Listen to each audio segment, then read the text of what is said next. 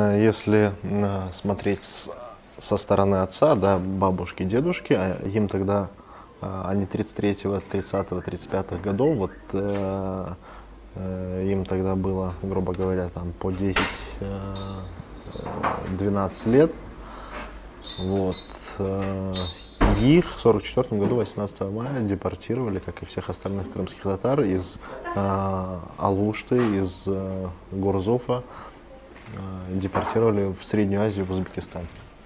Тогда э, было э, еще же военное время, тут как бы сама проблема войны, вот этот военный кризис, да, в Крыму, Крым был в оккупации, Э, грубо говоря, были только э, старики, дети э, и женщины.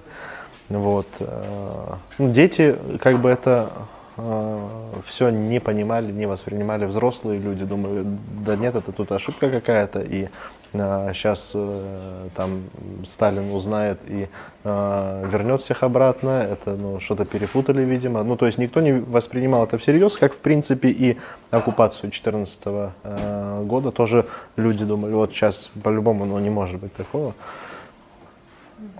Семью моего дедушки депортировали, когда э, его отца не было.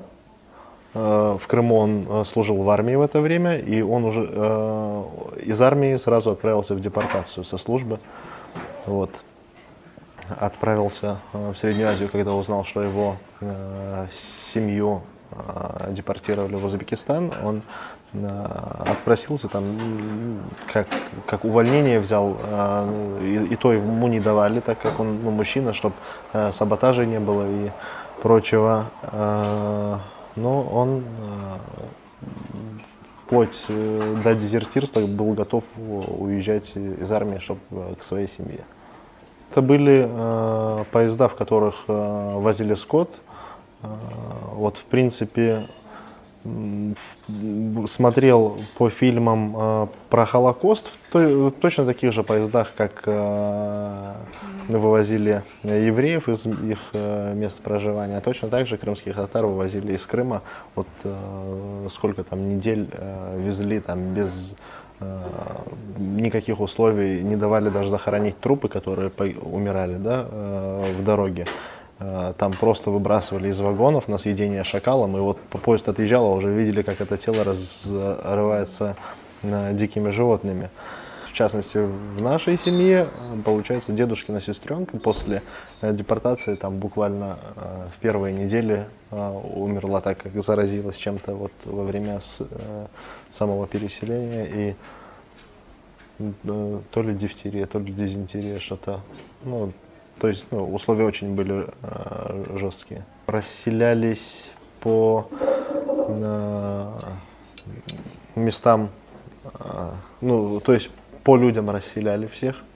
А, То есть ну, ничего же с собой, и взять ничего с собой нельзя было. То есть люди приехали, можно сказать, голые боссы, там средства первой необходимости, разве что документы какие-то, А, деньги, ценности, ничего не э, разрешилось вывозить.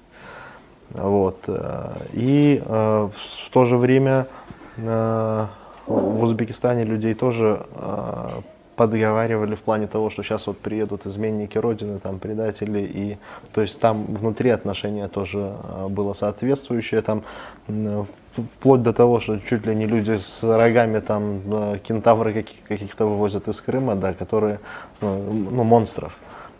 Народ у нас достаточно сплоченный, но и в то же время, э, особенно в такие критические, кризисные моменты для народа, э, еще более да, люди объединяются и стараются сохранить э, свою культуру, свой этнос. И на самом деле очень многое было утрачено. Это ну, просто колоссальный пласт э, культуры и э, интеллигенции, ну, из-за того, что было истреблено огромное количество интеллигенции, э, очень много было утрачено, как э, в ремеслах, как в искусстве, так и там в литературе и прочим и прочим. По э, ремеслам, да, вот только-только начали восстанавливать наше гончарное э, ремесло. Э, вот, в частности, здесь в Киеве работает над этим Рустем Скибин. Утрачена была чеканка, утрачена была там филигрань, ювелирное мастерство, утрачено, до сих пор не восстановлено мастерство холодного оружия, так как в Крыму до э, депортации, до этого, ну, на самом деле, еще во время Крымского ханства в Крыму изготавливались лучшие э, ножи, лучшие кинжалы, э, которые даже выкупали во французский королевский двор. Но у нас этого ничего, к сожалению, не осталось, так как э, нарушилась преемственность поколений, когда от отца к сыну да, передается мастерство. Часть этих э, мастеров какое-то время выехала э, в Турцию, часть э, э, была убита, репрессирована, кто-то в Канаде, кто-то в Штатах. То есть ну, все это нарушилось и не смогли продолжить. Крым у нас э, захватили, аннексировали, и э, вследствие того, что крымские татары единственные, можно сказать, кто э, отстаивал Украину в Крыму, о крымских татарах узнали. Почему до этого не делалось ничего да, в этом направлении? Так как в нашем государстве нету никакой как бы внутренней, внутренней политики по ну, вообще, вообще у нас политика, если честно, сложно. И вот внутренней политики по знакомству, вот если есть у нас проблема, то, что э, Восток не понимает Запад, давайте тогда будем детей Запада отправлять на Восток на какие-то экскурсии, на знакомство там с культурой э, с Востока на Запад. То же самое с Крыма э, на Запад, на Восток, ну, чтобы все знакомились, все понимали, чтобы не было такого, что э, где-то в Хмельницком будут думать, что крымские татары это бусурмане, там с лисьей шапкой, с луком за спиной и с куском бастурмы на ноге. Вот, э, и э, чтобы э, все видели, да, как бы эту культуру, знакомились и понимали, что в Украине живут так, так, так, вот в каждом регионе есть свои какие-то особенности. И тогда бы, в принципе, процентов 60-70 проблем, которые возникли у нас в непонимании между собой да, обществ, то их бы хотя бы как-то можно было нивелировать и убрать. Здесь, э, в принципе, в Киеве э, с этим проблем ну, практически не было. Да, были моменты, когда э, арендовали жилье, и когда вроде да, а потом нет, к сожалению, мы вам не сдадим. Вы крымские татары, такие горячие люди, там начнете резать, убивать, взрываться. Вот. Ну, то есть есть определенные стереотипы да, о крымских татарах вот, которые э, у некоторых людей еще сидят в головах. Проводили э, мои одни знакомые опрос как-то в Гагаринском парке нашем, э, снимали это все на видеокамеру и э, подходят у прохожих, да, спрашивают, Мухаммед Али это лидер Аль-Каиды? Да, это лидер. Там, ну, у многих, многие люди, ну, то есть услышали какое-то такое непонятное восточное имя, то все, значит, он лидер Аль-Каиды. Ну, то есть а, имеет отношение какое-то. Хотя никто, э, ну, нав- наверняка они не показали тех, кто ответил, что это боксер там. И, угу. ну, ну. Да, в Крыму, в Крыму э, это непонимание было со школьного, вот я помню это со школы, то, что у меня постоянные конфликты были. Э, моих родителей постоянно вызывали в школу за то, что, э, ну, я очень нетерпимо относился к разным рода оскорблениям по, по вопросу национальности. Вот. И э, тогда, ну, тут проблема в чем? То есть многие люди, которые живут в Крыму, это э, потомки тех э, выслужившихся чекистов и НКВДшников, которые заселили в крымско-татарские дома. То есть у них вот этот вот момент страха возмездия, да, что у них это все э, могут забрать. Но хотя как бы никаких таких ни разговоров, ни движений, то есть крымские татары приехали э, из депортации, бросили все нажитое там уже, то есть они за 40, ну мы, да, за 40, за 45 лет, вот это поколение очень хорошо встало на ноги в Узбекистане. Несколько, по-моему, три или четыре министра в Узбекистане были крымские татары, там, легкой промышленности, транспорта и еще, ну, вот, такие ключевые позиции. И все они бросили э, ну, весь народ да, бросил э, все, вернулся в Крым, э, где нет ни жилья, ни работы, ничего. Э, проф, ну, вот, академики, там, профессора вынуждены работать на рынке, продавать там, овощи, выращивать что-то такое, потому что крымских татар по национальному признаку на работу не брали в Крыму вот, в 90-е годы, да и до сих пор, в принципе, это есть, поэтому крымские татары как-то в своем э, этом и крутятся. Вот. Э, то же, э, та же самая проблема вот, э, с работой в госструктурах, это вообще было вето, особенно в силовых, то, что касается прокуратуры, милиции, военных должностей крымских татар, не допускали на какие-то ключевые руководящие роли, так как в Украине, да, до революционный период был внутренний враг в лице крымского татарина, который в любой удобный момент отсепарирует э, Крым и прилепит его к Турции. Вот, то есть э, даже наш этот, кто он сейчас, я не знаю, Яценюк, даже его видеозаписи есть на, по поводу этого, то, что вот вы крымским татарам там даете волю, они вот сейчас возьмут и это, прицепятся к Турции. Хотя никаких разговоров никто, да и Турция бы никогда тоже на такую аферу, авантюру э, не пошла. Это не Россия. Купіть карту Туреччини, і ви побачите, що Крим відзначений одним кольором, як і вся Туреччина до сьогоднішнього дня. От этой автономии, если честно, э, нам был только вред. Э, для крымских татар на тот момент было бы выгоднее, наверное, чтобы это была просто Крымская область. Э, так как эта автономия, она не была национальной автономией, где крымские татары, как э, коренной народ, э, могли иметь там хотя бы до 30% в парламенте, да, и как-то продвигать свое видение развития Крыма, да. То есть, ну, власти у крымских татар в политической в Крыму никакой и не было. Вот, то есть от этой автономии, ну, как бы крымские татары и борются за вот все это время, а крымско-татарская национальная автономия в составе Украины, э, чтобы она была по э, национально-территориальному признаку, и если бы это было бы решено до 2014 года, э, то, скорее всего, того, что произошло сегодня, мы бы не имели. Референдум бы был полностью, при, ну, он вообще не имел бы никакой зацепки быть э, правомочным, так как э, есть уже э, коренной народ. А так как Крым не имел коренного народа, э, и только вот через несколько лет, по-моему, после аннексии э, приняли то, что крымские татары коренной народ, э, э, ну, уже поздно, к сожалению.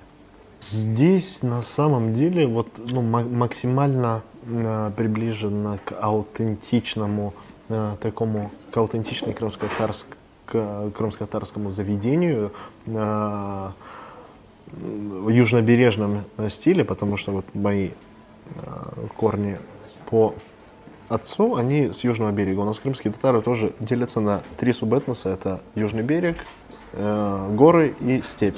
И у всех есть свои особенности, как в кухне, как в некоторых моментах культуры, в языке есть э, особенности. Вот. Здесь, ну, в первую очередь, да, это традиционная кухня, традиционный интерьер, э, вот традиционная посуда, то есть все, а, ну, то есть аутентичное, это гостеприимство, да, которое присуще да, крымским татарам. Вот это здесь и представляем. Некоторая посуда, вот если из э, вот выставленного, э, некоторая посуда э, из Крыма, некоторая куплена здесь уже на аукционах разных, э, то есть э, тоже старые э, антиквара. Вот, э, ну постоянно ищем, подбираем что-то вот, э, чтобы это все сохранить. У крымских татар э, два э, основных праздника это э, Хурбан Байрам и Ораза Байрам. Э, первый э, праздник э, это он такой, ну, так можно сказать, очень древний. Это он ведет свою традицию еще со времен Авраама. Мы его Ибрахим называем, когда он должен был принести в жертву Богу до своего сына, и этот сын превратился в агнца, и вот э, в этот день э, все э, как бы забивают это животное, э, барана, э, по всем канонам, да, и э, делят это мясо на три части, отдают часть друзьям, родственникам, часть, вот одну треть оставляют себе, и одну треть раздают нуждающимся. Вот, делают пожертвования, как бы по, подушно, как подушный налог можно назвать, э, вот тоже, чтобы э, нуждающимся помочь. Вот ну, такой праздник и э, поздравляют всех с э, там родственников, ездят целый день и объезжают родственников, э, друзей, поздравляют, пьют кофе целыми днями. Вот. А второй? а второй это праздник поста, как раз он э, скоро будет, он начался э, 5 числа этого месяца. Э, этот месяц крымские татары постятся. От, э, это месяц Рамадан, от э, рассвета, до, от появления утренней зари до э, заката, до появления первой звезды, э, то есть запрещено крымским татарам употреблять э, любую пищу, э, воду, там, и, то есть это праздник поста, и тоже в конце месяца э, его э, также празднуют и поздравляют всех э, старших Крымские татары, э, наверное, средней строгости, так как э, мы ближе э, получается к Европе и в любом случае это у нас не так есть определенные да, люди, крымских татар, которые более строго соблюдают, более, но основная масса так сказать, наверное, светский ислам. Вот э, по турецкому образцу. Вот у турков тоже, вот, ну, так как и народы, у тюркских народов это э, менее выражено, чем у народов Ближнего Востока там, или Персидского. Из элементов одежды вот и, э, просто, опять-таки, да, из-за того, что нет достаточного количества мастеров, да, которые э, будут это продвигать и э, делать. Вот, э, ну, есть девушки, например, которые одевают феску, одевают мараму, это вот платок, который сверху на феску. А, и, ну вот, как этот элемент. А, парни, ну, здесь в Киеве не видел, но в Крыму часто, и я тоже носил эту каракалевую папаху, такую черную, э, она как, ну, это, вот, но она, опять же, более в такой осенне-весенний период. Молодых определенного типа эти папахи, у там, когда а, постарше, у них уже другие цвета, могут быть такие под, э, под сединой эти папахи, у молодых в основном черные или коричневые. Есть э, очень э, много моментов по узорам, то есть если для беременной женщины определенные узоры, для там, молодой девушки, которая не замужняя, да, а другие узоры. То есть они как бы ведут свои, ее начало еще с давных давен, так сказать и э, несут в собой вот тот смысл, который когда-то там закладывался вот в тех древних верованиях крымских татар, да, и они от, отражают этот смысл, и типа некоторые выступают в качестве оберегов, да, некоторые это, но на данный момент они просто вот как узоры сохранились э, и используются в э, крымско-татарских костюмах. У нас в основном оно э, сейчас очень активно используется во время там, свадебных обрядов и э, вот используются крымско-татарские костюмы. А так в повседневной жизни, к сожалению, э, крымско-татарская одежда слишком получается дорогой и слишком такой праздничной, чтобы mm-hmm. одевать ее в повседневную. Mm-hmm. Есть книги, да, определенные исторические, которые там написал или Вазгрин, или Гай Воронский. Есть Э, вот э, направление вот этого гончарного ювелирного мастерства, которое, э, если, ну, наверняка к этим мастерам можно обратиться, пойти к ним ученики, да, и кто хочет, mm-hmm. может учиться, работать и да, потом тоже основать какое-то свое направление, вот, ю, опять же, ювелирки или э, гончарного мастерства. Вот у нас есть один мастер Мехди Исламов, он э, был премированные премии Фаберже, и, ну, то есть у него очень, очень крутые работы, и там, и опять-таки, кинжал есть, и вот э, э, просто как бы бытовая ювелирка и э, там росписи определенные, там картина Ивазовского на э, э, этих. Большая часть людей э, настроена, что пока не сменится власть да, в России, то мало что может измениться в, в плане оккупированных территорий. Ну, в ближайшее время вряд- ли она изменится. Да, что-то там он никак не, это не отходит. Да, А там у вас остались еще родственники? Конечно, конечно, там, ними ну, можно сказать, практически все родственники там. Куча стендов, например, э, как вести себя во время террористического акта, там, например. Ну, то есть, а, если честно, для нас так это дико. Вот за э, с- 20, сколько, 24 года э, в составе Украины в Крыму не было никаких террористических э, актов, никаких таких моментов, а сейчас там стенды стоят, что вот как себя вести там в случае теракта, там если увидите такого, ну, то есть мне даже присылают фотографии, это, ну, отношения такие, опять-таки, натянутые, как и а, были, да, у тех, кто был, А, но а, есть э, такие моменты, что а, те россияне, ну не россияне, точнее крымчане, которые там били себя в грудь, ура, там Россия хоть камни с неба, они, конечно, с трудом это признают, но некоторые уже признают, то, что все-таки они ошиблись и э, ничего э, в лучшую сторону не поменялось э, для них, да, то есть там за какие-то пару копеек прибавки к пенсии, то есть то, что они сделали, это, ну, как бы не стоило того, и сейчас э, становится хуже, пенсии урезают, зарплаты урезают, и, э, а цены-то там не дешевле, чем здесь, ну, возможно, даже дороже на, некоторые позиции. Я сам закапывал э, литературу у себя во дворе и э, сталкивался с этим. То есть ну, никогда э, не знал, что есть такое понятие, как запрещенная литература. Вот. Ну, А Какая это была литература?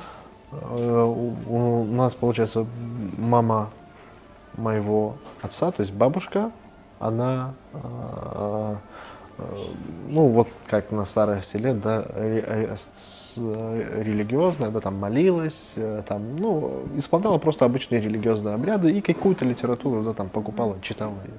Вот, и вот эта вот литература, которая дома лежала, я ее нашел в списках, то, что она экстремистская. То есть, ну там непонятно, каким-то там э, тульским судом признана она экстремистская, значит она экстремистская. И вы просто закопали, чтобы не нашли? Ну да, потому что э, у нас были моменты с возможными обысками ну, дома, поэтому нет, сейчас бабушка уже здесь, не смогли мы поехать похоронить дедушку, Э, вот, и здесь, здесь получается я, отец, и братишка и бабушка из Крыма.